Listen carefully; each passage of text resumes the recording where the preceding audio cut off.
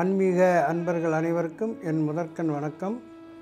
இப்பொழுது நாம் ரெண்டாயிரத்தி இருபத்தொன்று ஆகஸ்ட் மாதத்தினுடைய ராசி பலன்களை பார்த்து கொண்டிருக்கின்றோம். அதில் முதல் ராசியான மேச ராசிக்கு இப்போது நாம் வந்து பலன் பார்க்க போகின்றோம்.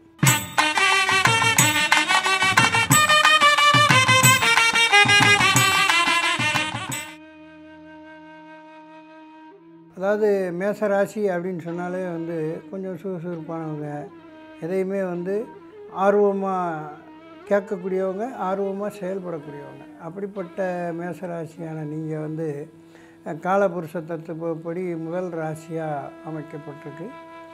இந்த ராசிக்காரங்க எப்பயுமே வந்து தன்னை பற்றி பெருமையாக சொல்கிறத காட்டிலும் மற்றவங்களை வந்து பெருமையாக சொல்கிறத ரொம்ப ஆர்வமாக இருப்பீங்க.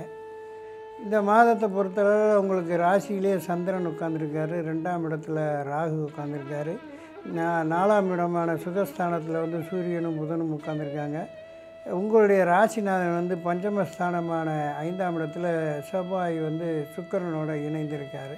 அதே போல் எட்டாம் இடத்துல கேது உட்காந்துருக்கிறாரு தொழில் ஸ்தானத்தில் சனி வக்ரமாக இருக்கார். லாபஸ்தானத்தில் குரு வக்ரமாக இருக்கார். இது இந்த மாதத்தினுடைய கிரக நிலைகள். இப்போ லக்கணமும் மேச லக்கணமும் அமைஞ்சிருக்கு. அப்போ செவ்வாயினுடைய அந்த தத்துவப்படி செவ்வாய் வந்து உங்களுக்கு வந்து திரிகோண ஸ்தானத்தில் வந்து உட்காந்துருக்கிறாரு அப்போ திரிகோண ஸ்தானத்தில் உட்காந்துருக்கும்போது லக்கணமும் பலன் பெறுது ராசியும் வந்து பலம் பெறுது. அப்போ இந்த இரண்டுமே பலம் பெறும்போது இந்த மாதம் முழுக்க உங்களுக்கு ஆகஸ்ட் மாதம் முழுக்க ஓரளவுக்கு உங்களுக்கு வந்து ரொம்ப சிறப்பான ஒரு நற்பலன்கள் கிடைக்கிறதுக்கான வாய்ப்புகள் நிறையா இருக்குது அதே போல் இந்த பதினாறாம் தேதிக்கு அப்புறம் வந்து சூரியன் வந்து சிம்ம ராசிக்கு பயிற்சி ஆகிறாரு. அப்போ செம்ம ராசிக்கு பயிற்சி ஆகும்போது அஞ்சுக்குரியவனே அஞ்சில் ஆட்சியாக அமையும் போது இன்னும் உங்களுக்கு கிடைக்கக்கூடிய ஒரு பணப்பழங்கள் அல்லது வேலை வாய்ப்பு தொழிலில் மேம்பாடு இப்படி எல்லா விஷயத்துலையுமே வந்து சூரியன் வந்து பதினாறாம் தேதிக்கு அப்புறம் வந்து உட்காரும் பொழுது உங்களுக்கு இன்னும் வந்து நிறைய நற்பலன்கள்லாம் அமையுது. அது உங்களுடைய ராசிநாதன் சூரியனோட இணைய போகிறாரு அதே போல் குருவும் வந்து சூரியனையும் செவ்வாயும் வந்து பார்க்குறாரு. வக்ரகதியாக பார்க்குறாரு. வக்ரகதியாக பார்க்கும்போது பன்னெண்டுக்குரியன் வக்ரம் ஆகும்போது உங்களுக்கு வந்து பணப்பலன்களும் சரி பொருளாதார ரீதியும் சரி தொழில்களையும் சரி இல்லை உத்தியோகத்தில் இருக்கிறவங்களாக இருந்தாலும் ரொம்ப சிறப்பான ஒரு நற்பலன்களை வந்து நீங்கள் அடையிறீங்க. இந்த ஒரு காலகட்டம் வந்து இந்த மாதத்தில் வந்து உங்களுக்கு பத்துக்குரியவன் சனி வந்து ஆட்சியாக இருந்தும் வக்கரமாக இருக்கார்.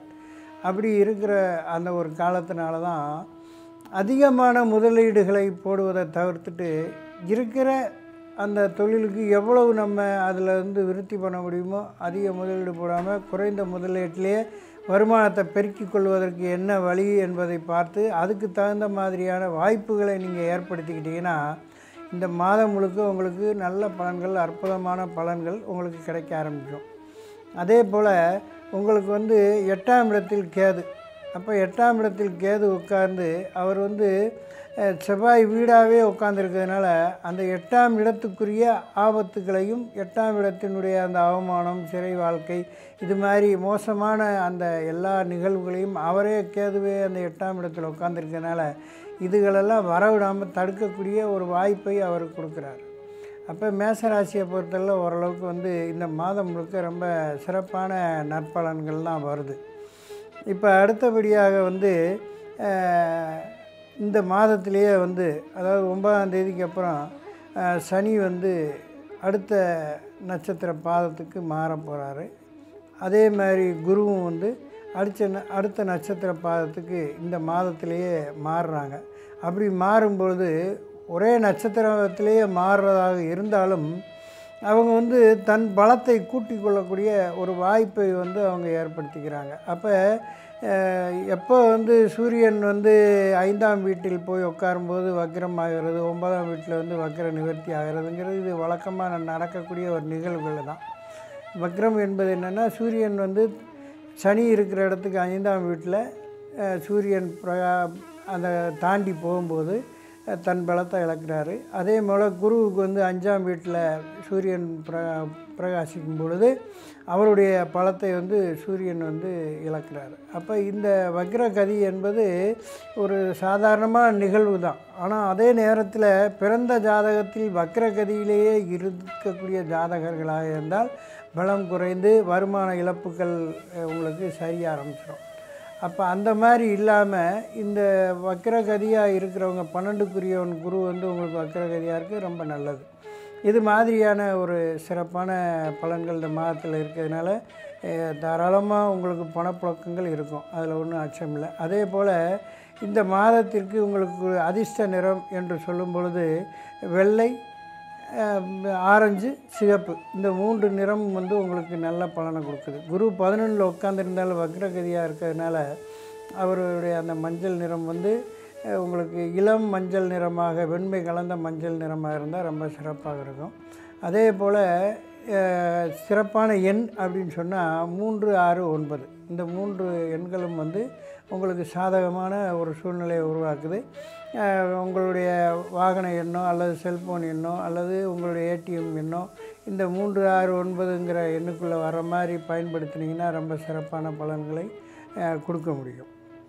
இப்போ வந்து முன்னாடி இது வந்து அந்த ஏடிஎம் கார்டை கொடுத்துட்டு அந்த ஏடிஎம் கார்டில் உள்ள நம்பர்களை வந்து நம்ம பயன்படுத்துகிற மாதிரி இருந்துச்சு. இப்போ வந்து நாமளே வந்து ஏடிஎம்மில் வந்து நம்மளுடைய ரகசிய எண்களை சாதகமாக நம்மளே பதிவு பண்ணிக்கலாம். அப்போ இந்த நான் சொன்ன மூணு ஆறு ஒன்பதுங்கிற நம்பர் கூட்டு எண் வர மாதிரி நீங்களே வந்து நான்கு இலக்க எண்களை மாற்றி அமைச்சுக்கிட்டிங்கன்னா உங்களுக்கு இன்னும் நல்ல பலன்களை கொடுக்கும்.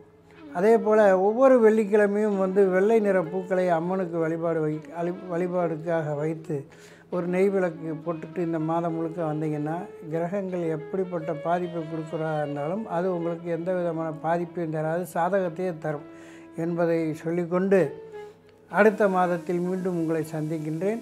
தொடர்ந்து எங்களுடைய வீடியோக்களில் உள்ள மற்ற விஷயங்களை பற்றியும் நீங்கள் வந்து ராசி பலன் மட்டும் இல்லை நிறைய பொது விஷயங்களெல்லாம் உங்களுக்கு பயன்படக்கூடிய விஷயங்கள்லாம் நிறையா சொல்லிக்கிட்டு வரோம். அதையும் நீங்கள் பார்த்து உங்களுடைய வாழ்க்கையில் எப்பயுமே ஜெயிக்கிற மாதிரியான ஒரு சூழ்நிலையை ஏற்படுத்திக் கொள்ளுங்கள் என்று சொல்லிக்கொண்டு இந்த வாய்ப்பு நல்கிய உங்களுக்கு நன்றி கூறி விடைபெறுகிறேன். நன்றி வணக்கம்.